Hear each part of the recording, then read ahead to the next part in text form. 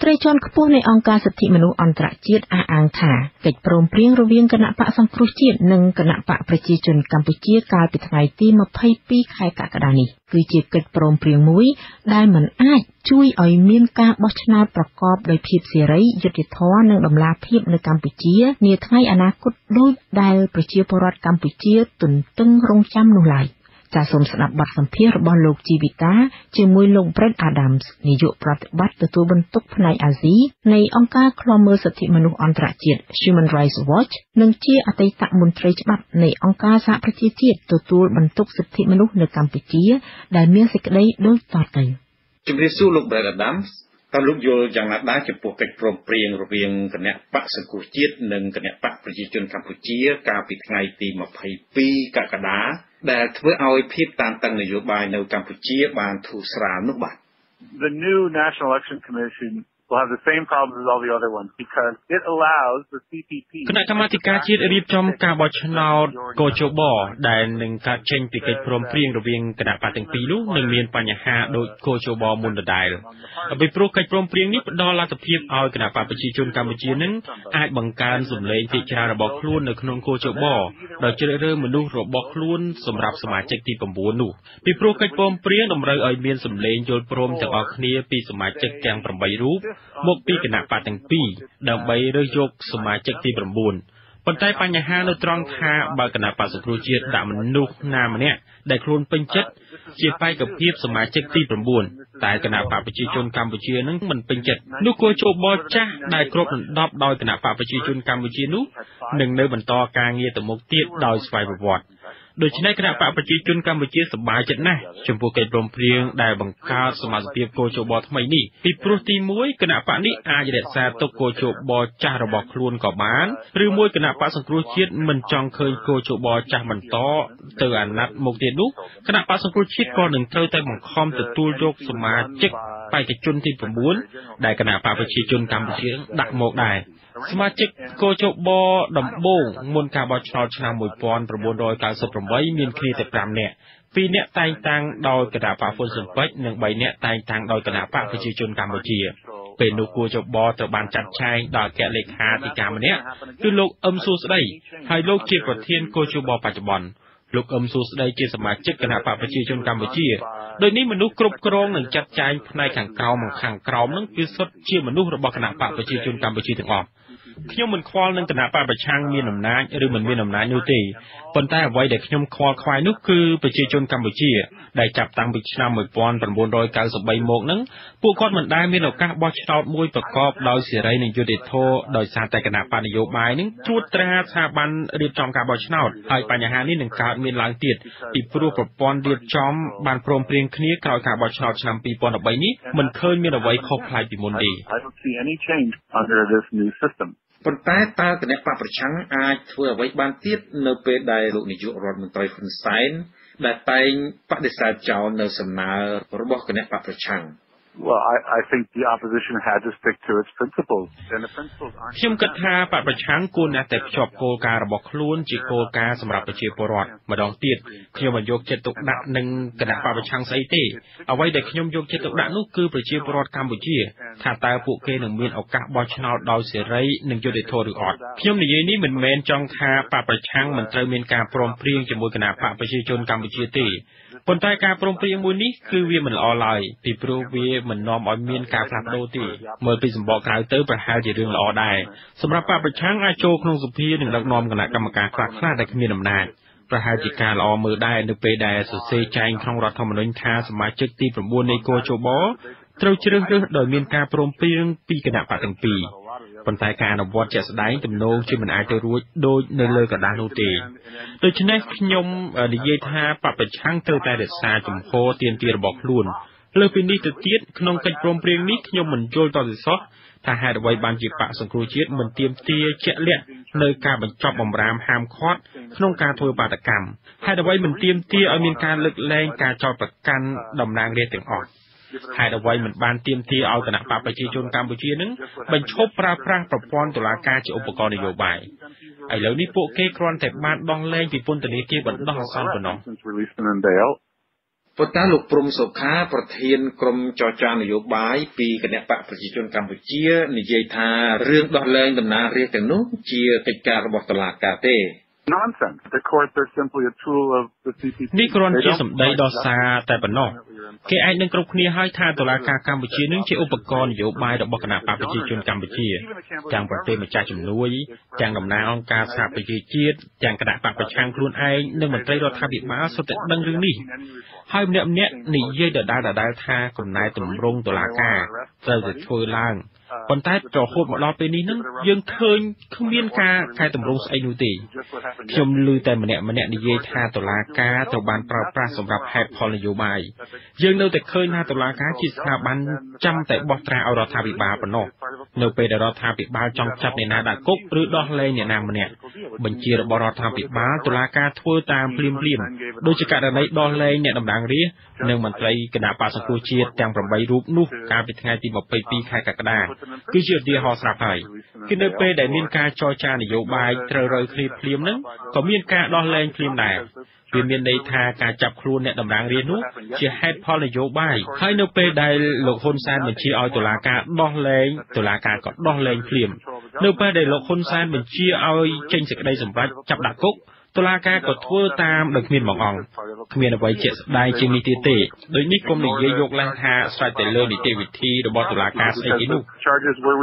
ចំពោះគណៈកម្មការរដ្ឋសភាបង្កើតថ្មីមួយឈ្មោះគណៈកម្មការស៊ើបអង្កេតបោះសម្អាតនិងប្រឆាំងអំពើពុករលួយ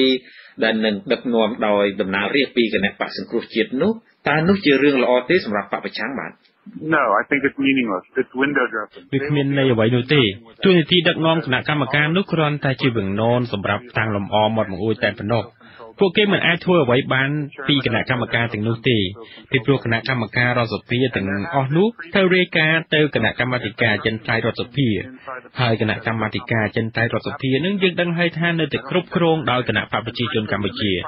មកដល់ឥឡូវក៏មានគណៈកម្មការរដ្ឋសភាប្រឆាំងអំពើពុករលួយដែរប៉ុន្តែគណៈកម្មការនេះមិនសម្រេចបានលទ្ធផលផ្លែផ្កាអ្វីនោះឡើយហើយខ្ញុំគិតថាវានឹងគ្មានការផ្លាស់ប្ដូរអ្វីឡើយពីព្រោះបញ្ហាចម្បងនោះមិនមែនស្ថិតនៅលើគណៈកម្មការរដ្ឋសភារឹងមាំឬអត់នោះទេអ្វីដែលជាបញ្ហានោះគឺច្បាប់មិនល្អហើយរដ្ឋាភិបាលដឹកនាំដោយគណៈបកប្រជាជន មិនមានចេតនាអនុវត្តច្បាប់ លោកគិតថាវាអាចជួយធ្វើឲ្យមានភាពប្រសើរឡើងខ្លះទេបាទ I don't believe it will help at all and I ទេវានឹងមិនអាចជួយឲ្យប្រសើរឡើងទេរដ្ឋាភិបាលនឹងប្រាប់ទៅពិភពលោកថាមើលទៅយើងមានគណៈបកប្រឆាំងគ្រប់គ្រងគណៈកម្មការរដ្ឋសភាប្រឆាំងអំពើពុករលួយបន្ទាប់មករដ្ឋាភិបាលអាចយកលេសស្ដីបន្ទោសបកប្រឆាំងថាធ្វើការមិនមានប្រសិទ្ធភាពនៅពេលដែលខ្លួននឹងឲ្យគ្រប់គ្រងគណៈកម្មការរដ្ឋសភាមួយនេះមិនដែលមានអំណាចពិតប្រាកដនោះ កន្លងមកទោះបីជារដ្ឋមន្ត្រីនិងនាយករដ្ឋមន្ត្រីបានមកឆ្លើយបំភ្លឺនៅក្នុងសភាអំពីបញ្ហាអ្វីមួយគឺពួកគេធ្វើឡើងគ្រាន់ឲ្យល្អមើលប៉ុណ្ណោះ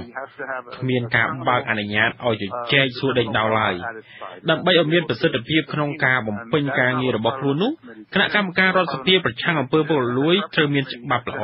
មានសិទ្ធិអំណាចដើម្បីកោះហៅស៊ើបអង្កេតនិងចោទប្រកាន់មន្ត្រីពុករលួយ and that's not what a parliamentary committee can do បាទបើយើងមើលរយៈពេលជិត1ឆ្នាំកន្លងមកហ្នឹងគឺថាគណៈបកសង្គ្រោះជាតិហ្នឹងស្ថិតក្រោមការគៀបសង្កត់ខ្លាំងណាស់តាមរយៈរូបភាពផ្សេងផ្សេងដូចជាធ្វើបាតុកម្មត្រូវរងការបង្ក្រាបអ្នកគ្រប់គ្រងត្រូវបានបាញ់សម្លាប់និងចាប់ដាក់គុកហើយសូម្បីតែតំណាងរាស្ត្រក៏ត្រូវចាប់ដាក់គុកព្រមទាំងត្រូវគម្រាមថានឹងចាប់ដាក់គុកថែមទៀតបើមិនឈប់ធ្វើបាតុកម្មហើយចូលរដ្ឋសភាទៀតនោះហើយម្យ៉ាងទៀតនឹង តាមការប្រកាសរបស់គោជបគណៈបកប្រឆាំងមួយនេះជាបកចាញ់ឆ្នោតទៀតផងអញ្ចឹងទេតើគណៈបកសង្គ្រោះជាតិនឹងអាចធ្វើអ្វីបានទៀតក្នុងស្ថានភាពនយោបាយគៀបសង្កត់មកលើខ្លួនបែបនេះបាទ Didn't lose the election was was not free and fair ទេគណៈបកសង្គ្រោះជាតិនឹងមិនបានចាញ់ឆ្នោតនោះទេគឺការបោះឆ្នោតទៅវិញទេដែលមិនបានប្រព្រឹត្តទៅដោយសេរីនិងយុត្តិធម៌យើងមិនដឹងថាអ្នកណាឈ្នះឆ្នោតទេប៉ុន្តែគណៈបកប្រជាជនកម្ពុជាអះអាងថាខ្លួនឈ្នះឆ្នោត ដោយសារតែបកកណ្ដាលអំណាចមួយនេះជាអ្នកត្រួតត្រាលើយន្តការបោះឆ្នោតដូច្នេះក៏ប្រកាសថាខ្លួនឈ្នះទៅយើងដឹងថាវាជាការបោះឆ្នោតមួយ ដែលមានភាពមិនប្រក្រតីមិនត្រឹមត្រូវតាមស្តង់ដារនិងមានការលួចបន្លំអ្នកដឹងទេនៅពេលដែលលោកហ៊ុនសែនចាប់តំណាងរាស្ត្រមកពីគណៈបកសង្គ្រោះជាតិដាក់គុកគឺគាត់ច្រឡំធំណាស់ពេលនោះគណៈបកសង្គ្រោះជាតិគួរតែមានសេចក្តីក្លាហានក្រោកឈរឡើងឲ្យខ្លាំងថែមទៀត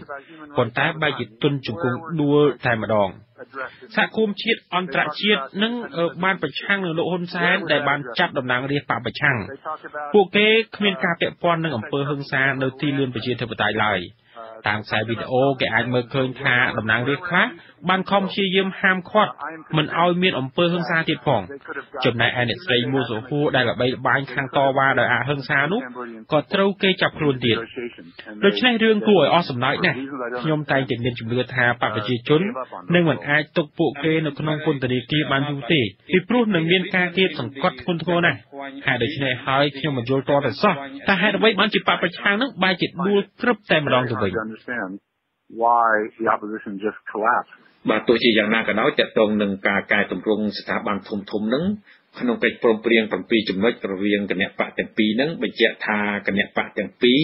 ឯកភាពគ្នាធ្វើការកែតម្រង់និងពង្រឹងស្ថាប័នជាតិសំខាន់សំខាន់ជាពិសេស ស្ថាប័នឯករាជ្យនានាឲ្យអាចបំពេញការងារបម្រើជាតិស្របតាមគោលការណ៍លទ្ធិប្រជាធិបតេយ្យសេរីពហុបកនិងនីតិរដ្ឋលោកគិតថានេះជាការល្អទេបាទ Yeah, you can go through the list of reforms. អ្នកអាចមើលឃើញជាច្រើនទៀតនៅលើក្រដាស់ដែលនិយាយពីការកែតម្រង់រយៈពេល20ឆ្នាំកន្លងមកនេះគណៈបព្វជិជនកម្ពុជានិងលោកហ៊ុនសែនបាននិយាយប្រាប់ប្រទេសម្ចាស់ជំនួយអំពីការកែតម្រង់នេះហើយគាត់និយាយតែដដែលដដែលបែបនេះនៅក្នុងយុទ្ធនាការឃោសនាបោះឆ្នោតរៀងរាល់5ឆ្នាំម្ដងអ្វីដែលគណៈបព្វឆាំងគួរធ្វើនោះគឺត្រូវបញ្ជាក់ឲ្យបានច្បាស់ជាងនេះគឺត្រូវមានការព្រមព្រៀងឲ្យជាក់លាក់ដែលអាចអនុវត្តទៅបាន ហើយនៅពេលដែលដាក់ចេញទៅ